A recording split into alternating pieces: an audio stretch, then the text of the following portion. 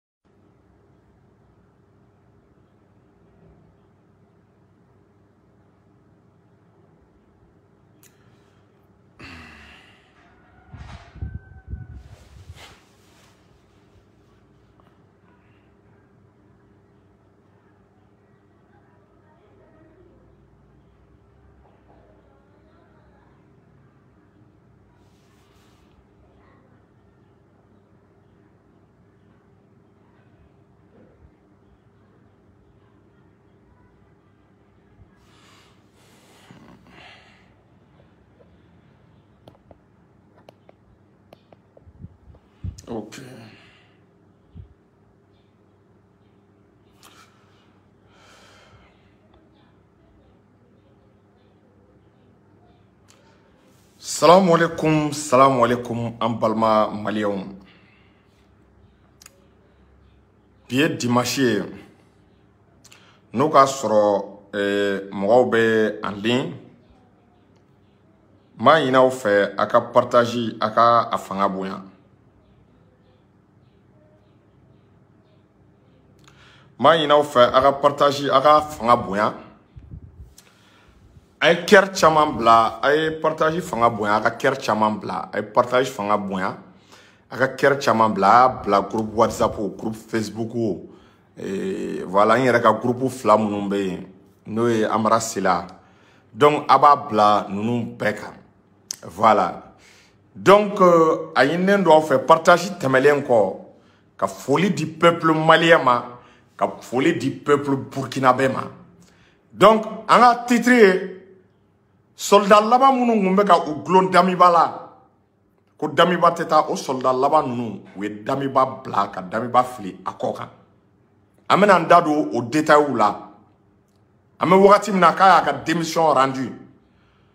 o tɛmɛlen kɔ wele bilalen bɛ maliyɛn bɛɛ ma mɔgɔ ma bɔ mɔgɔ la tanko don ni min ka tan y'a sɔrɔ an ka ɲɔgɔn sɔrɔ ee monument place kwame kuruma la an bɛ dala ye aseyi la donc n'an ye ɲɔgɔn sɔrɔ yen an bɛna taa an ka eh, soutien ka taa o apporter peuple burkinabé ma an b'an da don o fana la o tɛmɛlen kɔ ani ko caman wɛrɛ kan ka kɛ CEDEAO kumana Burkina situation na an b'an da don o la en même temps Burkina ka jamana dɔ bɛ yen ko Djibo u ka dugu dɔ bɛ yen Djibo k'a mago bɛ dɛmɛ la est ce que vous voyez donc euh, an tɛ se ka kuma in fɛ Guinée an b'a fɔ Guinée ma k'u bonne fête de l'indépendance Guinée u bonne fête de l'indépendance Guinée ka fête de l'indépendance Mali ni Guinée a bɛɛ jamana kelen u bɛɛ tonsojuru n'u u barajuru a bɛɛ gulonnen bɛ ɲɔgɔn na Mali ale ni Guinée est ce que y'a faamu donc mɔgɔ minnu ma se ka don n ka groupe whatsapp la n bɛ tila ka nimoro bila page kan a bɛ don est ce que y'a faamu n bɛ tila ka nimoro bila donc k'an ka serifukɛ Sheikh Tiami Ayidara kabako fura tigi an ka foli belebele bɛ a ye ala ye serifukɛ sɔn kabako fura la fura min n'a ka ɲi bana baden ma tansiyɔn jabɛti furudimi rɛndimi kɔdimi serifukɛ ka nimoro ye 78 78 03 03 o tɛmɛlen kɔ k'an ka belebele fo n'o ye sɛku lasana kanɛ belebele bɛ segu ni sera segu i n'a i n'a ɲɛ bi kɛ naani ye a ye baara min kɛ maliko la ka se bi ma an bɛ lasana kanɛ fo ni mɔgɔw m'a dɔn anw b'a dɔn wa anw tɛ ɲinɛ a kɔ a y'anw bɔ degun min kɔnɔ anw b'a dɔn lasana kanɛ folen kɔ a ka mugadamu dɔ bɛ yen kamara n'a bɛ bɔ kati an b'a fɛnɛ fo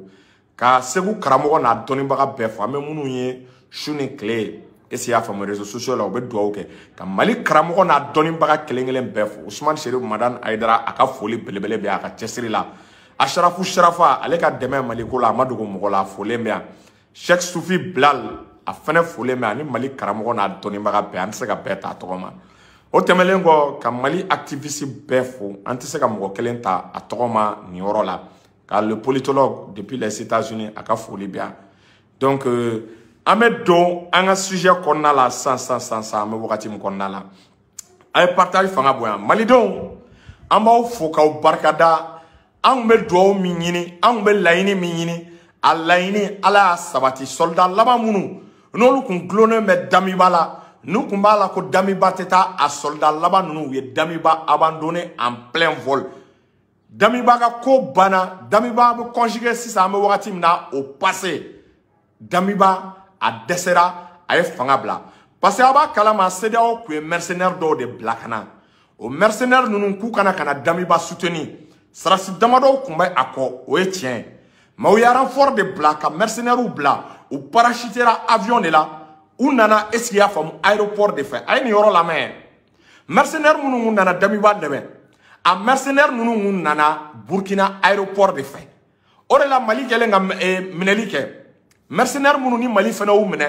ni dɔw tun bɛ k'a kɛ kabako ye ko depuis kan ko mercenaire bɛna coup d'état kɛ aéroport la ɔ burkina ta y'a prévoit an bɛɛ y'a ye para bɛ ka mɔgɔw fili ka jigin aéroport la burkina aéroport la mercenaires k'u kana damiba dɛmɛ damiba kana se ka fanga bila damiba k'i accrocher fanga la faransi ko k'a kana fanga bila sedeyaw ko k'a kana fanga bila ko n'a ye fanga bila ko ye olu bɛɛ de mago salen ye o de senfɛ peuple burkinabe ani anw fɛn fɛn bɛ yan panafricains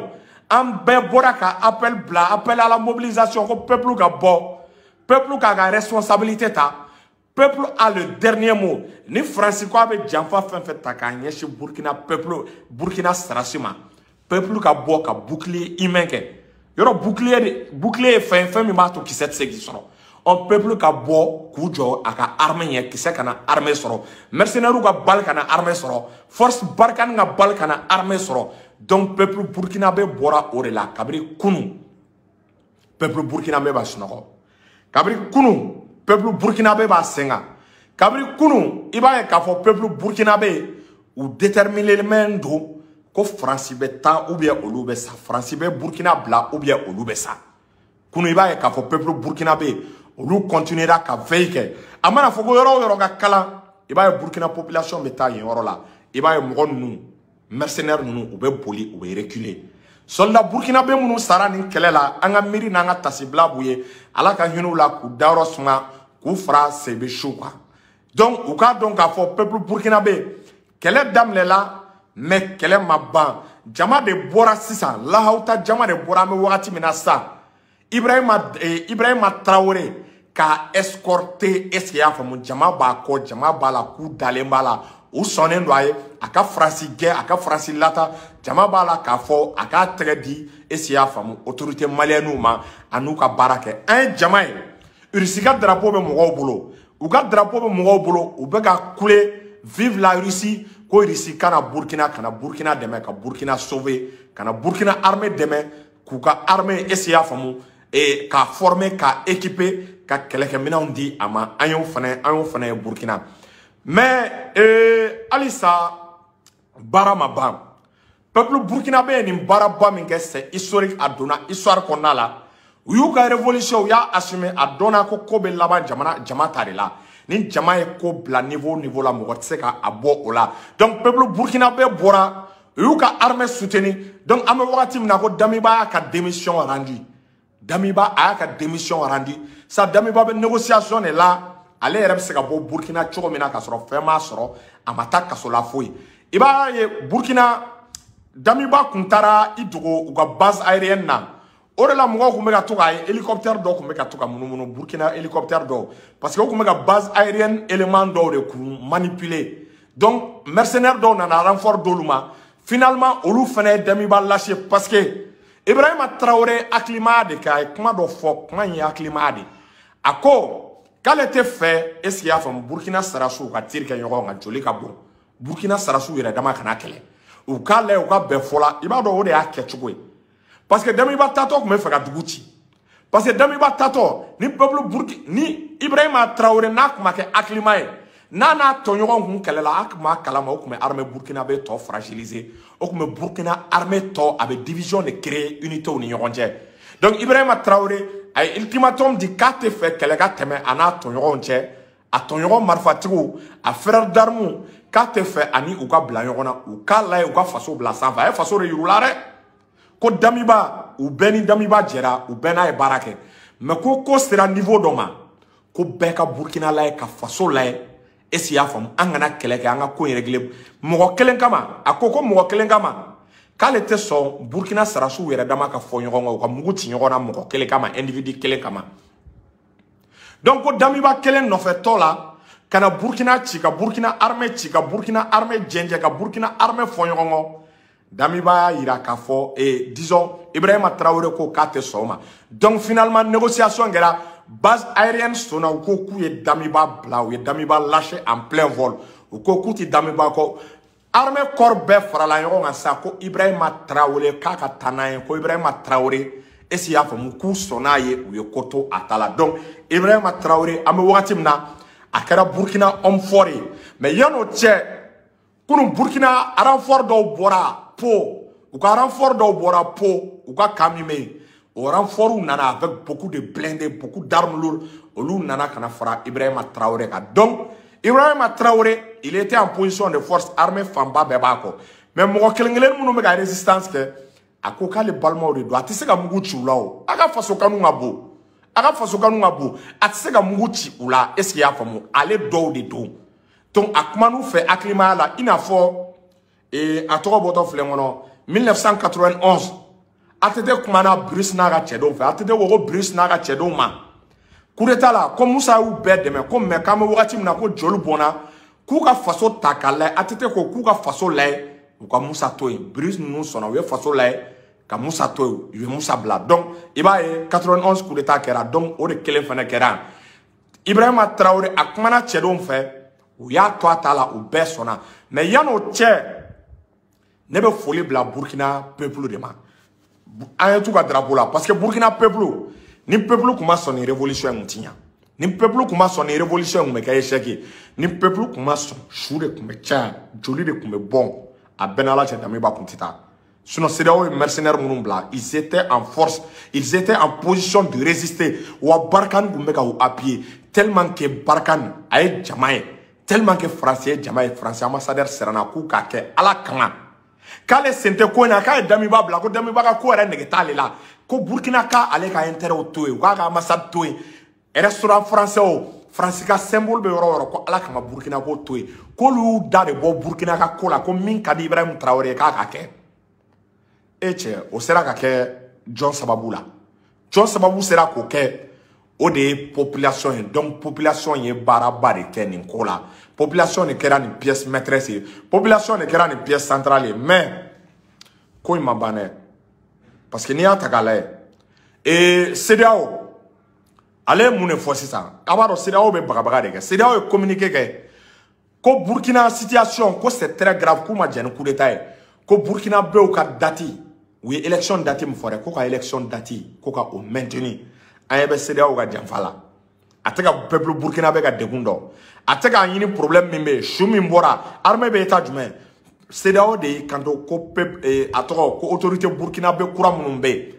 k'u ka fɛɛrɛ sugu bɛɛ kɛ k'ale kɔni tɛ dɔwɛrɛ dɔn dɛ k'ale sedaw k'u ka election de kɛ an bɛ min fɔ peuple burkina bɛ ani ibrahima tarawele a y'a ka baara kɛ a kana sedaw lamɛn a ye nin baara min kɛ a kana sɔn sedaw ka représentant ka jigin burkina an bɛ wagati min na tant que an ma tila ka baara la ka yɔrɔ stabiliser ka fanga tila ka dancɛ bɔ fanga furancɛw ni ɲɔgɔn cɛ a kana tan di sedeyaw ma a kana sedeyaw cɛ si wele a kana sedeyaw da don aw ka kuma la a ye sedeyaw a ye ɲinɛ a kɔ bi axe kura de bɛ ka former l'axe mali burkina guinée o axe saba de bɛ ka former fɔlɔ o de bɛ ka dessiner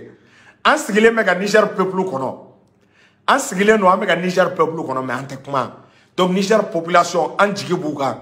wa an b'a dɔn niger population fana bɛ na an rejoindre Niger population ni anw fɛnɛ bɛna baara kɛ an dalen bɛ o la o dutu t'an na wa mɔgɔw tɛ fɛn dɔ dɔn faransi ni cad fɛnɛ bɛ ka kɛlɛ cad u ka perezan ye debi denkɛ ye ɔ k'a ko k'a b'a perezante amerikɛnw ko ko n'a y'a perezante k'u b'u ka dɛmɛ bɛɛ tigɛ cad la union européenne ninnu bɛɛ ko ko ni cad perezan y'a perezante k'u b'u ka dɛmɛ tigɛ donc m'a dɔn tow t'a la cad fɛnɛ bɛna ka na fara mali kan ka mali yɛrɛ suyɛ parce que tubabu tɛ mɔgɔ ɲalen fɛ donc k'a ɲɛfɔ ibrahima tarawele a kana ɲinɛ a sigicogo kɔ ibrahima tarawele n'i ɲinana i sigicogo kɔ fɛn kelen min ye dami b'a lata o kelen b'i lata n'i ɲinana i sigicogo kɔ dami b'a tacogo est ce que i y'a faamu a bɛ ɲa ka tɛmɛ i tacogo kan i k'a dɔn k'a fɔ ibrahima tarawele jigi fila t'i la i ka pepulu kɔ pepulu de ye fanga d'i ma a sarasiw tɛ dɛ n'a kun tora sarasiw ka niveau la damiba kun tɛ taa dɛ peuple de ye fanga di ibrahim tarawele ma a ta peuple ka dabada ma n'i kɛra président ye révolution mɔgɔ minnu bɔra o jama kura ye o dɔ k'i ka premier ministre ye fɛɛrɛ sugu bɛɛ kɛ k'i bolo di irisi ma i bolo di mali ma délégation dɔ wuli i ka na i kɔrɔkɛ asimi goyita voir ka conseil d'u ma a ka conseil d'i ma asimi fana k'a layɛ a bɛ se ka ibrahima tarawele a bɛ se ka u dɛmɛ cogo min na parce que an bɔra fɛn dɔ kalama n bɛ nin yɔrɔ adresse asimi goyita la k'a ɲini a fɛ a delilen don ee ko burukina dugu dɔ bɛ yen jibo yɔrɔ min ata kɛra ata kɛlen bi ko kɔngɔ bɛ u la ko ji u tɛ ka ji sɔrɔ ka min u tɛ ka balo sɔrɔ ka min bɔn yɔrɔ in ni burukesi ka surun donc ni mali bɛ se ka taa dɛmɛ dɔ yanni burukina parce que n'i y'a ta k'a lajɛ burukina bɛ situation min na an bɛ wagati min kɔnɔ ça va être très difficile u ka ko organiser dɛmɛ ka se ka se jibo ma mais ni mali asimi tulo bɛ n'an ka autorité dɔwɛrɛ tɛ dɛ n'an bɛ se ka balo dɔ donni ani ji ka taa largue hélicoptère la avion na ka taa fili jibo population ma k'a di jibo population ma o bɛ diya ye en attendant yanni burkina fanga ka organiser parce que u tɛ se k'u to nin situation na k'u bɛ population dɛmɛ parce que armée désorganisera a bɛ ça va prendre un mois pour que u ka ordre don ka gouvernement sigi pour que u ka se ka population ka problème gérer donc ne kɔni b'a ɲini an ka président fɛ n'o ye mali président ye est ce que y'a faamu ee asimi goyita donc n'o k'a sɔrɔ a bɛ se ka dɛmɛ don jibo population ma parce que an image dɔw ye ko jibo population b'a la ko kɔngɔ b'u la minɔgɔ b'u la ko ji tɛ u bolo parce que olu de tun bɛ ka taa ravitaye balo la u ravitaye tɔ dɛ balo ditɔ u ma dɛ o de convoi de atakera ni peuple burkinabé yɛrɛ dimina est ce que y'a faamu eh, a tɔgɔ bɔtɔ filɛ kɔnɔ damiba kɔrɔ parce que damiba ma se ka sécurité d'u ma convoi tatɔ avec beaucoup de blindés beaucoup d'hommes avion kelen bɛ k'o escorter o convoi bɛ se ka bin embuscade kɔnɔ cogo di avion min tun bɛ sanfɛ o avion taara min donc en attendant que kow ka sigi sen kan ni mali bɛ se ka taa dɛmɛ don jibo population ma c'est à dire o bɛ diya ye asimi k'a la je sais que olu bɛ kɛ dans le secret de la diplomatie est ce que vous voyez dans le secret de la diplomatie asimi k'a la o tɛ kɛ jama la de rentrer en contact avec les autorités burkinabé k'u dɛmɛ k'u conseiller parce que ibrahim traoré bɛ wagati min na an kana ɲɔgɔn nɛgɛ a pression ma nɔgɔ panique ni fɛnw expérience t'a la asimi k'a la ka expérience don a kɔrɔ k'a conseiller k'a bilasira donc u ka dugu min bɛ yen ko jibo mɔgɔw k'a layɛ asimi ka a lajɛ ese y'a faamu ka dɛmɛ ka balo dɔ doni ka taa a large ka taa fili hélicoptère la jibo mɔgɔw ma n'o ye balo ɲɔ ani ale ni ji pour que ka u dɛmɛ a natanda yanni autorité burkina bɛ ka bila sur place ne kɔni ne b'o o ɲini ee a tɔgɔ bɔtɔ filɛ kɔnɔ ne b'o ɲini asimi fɛ k'a ɲini a fɛ k'a ɲini mali autoritéw fɛ u ka dugu min bɛ yen ni jibo mali k'a layɛ ka dɛmɛ don dugu in ma parce que ani dugu dugu in ni burukesika surun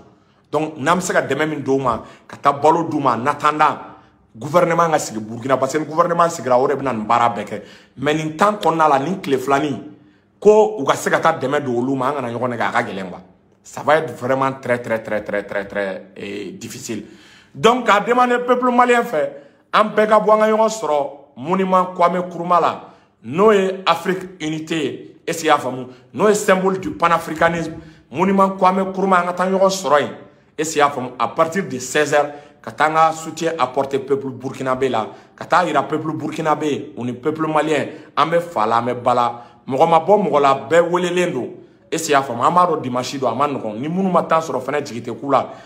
c'est à dire bɛɛ wele bilalen bɛ bɛɛ ma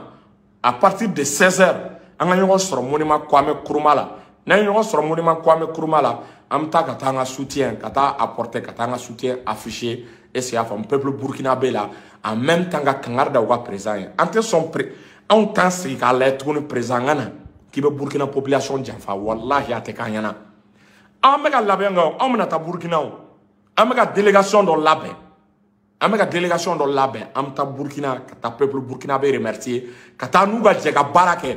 wa an bɛ taa ka taa an ka carte vérité an bɛ taa fɔ président kura ye parce que an tɛ se ka da mɔgɔ si la tuguni an tɛ da mɔgɔ la an sɛgɛnna an sɛgɛnna ibrahima tarawele a kana ko fila kɛ a ka russie a k'i bolo d'u ma a ka faransi lata ani asimi ka jɛ ka baara kɛ kuma banna donc cɛsar an ka ɲɔgɔn sɔrɔ monument kwame kuruma la donc bɛɛ welelen mali leader activiste bɛɛ ko bɛɛ ya rendez-vous di ɲɔgɔn ma donc 16 heures monument kwame kuruma bi dimanche an ka ɲɔgɔn sɔrɔ ka taa an ka soutien apporter peuple burkina bɛ ye salamu alaikum